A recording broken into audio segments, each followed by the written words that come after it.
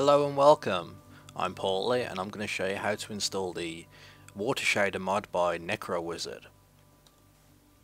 And as you can see here, this is the Water Shader mod, working nicely with this custom texture pack. The water ripples, it reflects the world, it looks amazing, and that cow's having some fun over there. So, without any further ado, let's get started. The first thing you're going to want to do is head over to the Minecraft forums and find the water shader mod post or otherwise just open up my description underneath this video and there'll be links there to where you need to go. And we're going to scroll down on here and we have a download. In fact we have two.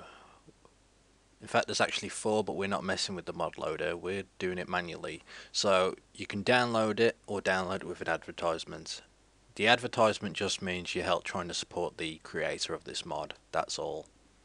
So once you have it downloaded, you will want to open it up, give it an extract to the desktop or wherever you want to do it, it's not really a problem, like I have here. Let's get that open and resized up. We'll then want to navigate to the C drive users, your username for the computer, and if app data isn't showing up here, you'll want to hit organize depending on which version of window you use. Folders and search options, view, and make sure under hidden files and folders, make sure show hidden files, folders and drives is ticked and then hit apply and OK. So we're going to keep going through app data, roaming, to the Minecraft folder and we want to go straight into the bin. Now I suggest, in fact I highly recommend doing a backup of your minecraft.jar file. Just copy it, make a folder, whatever you want to call it, and just paste it in there as a backup in case anything goes wrong or you would like to revert. So now we have a backup of this, we're going to want to open this up and we want to open it with WinRAR. You could use something else such as 7-zip or window uh, WinZip, but we're going to use WinRAR for this. So open it up, and now we want to access this Minecraft folder which was included in the download, and we just want to drag all of this over to here, hit OK,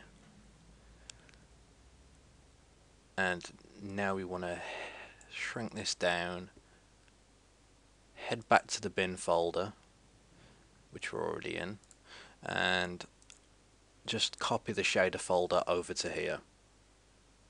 So the shader folder is in the bin directory that's where it needs to go.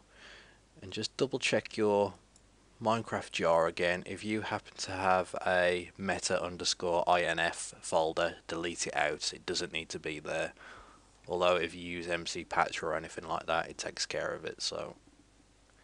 Now that's all done. The only thing left is to uh, start up Minecraft. So as you can see we've now got the water shader mod installed. It looks fine. It looks great with custom texture packs. It looks great with regular default Minecraft textures. Worth checking out if you haven't seen it yet one of the most highly recommended mods floating around at the moment, so do check it out. Thank you for watching, please keep your eyes peeled for more tutorials.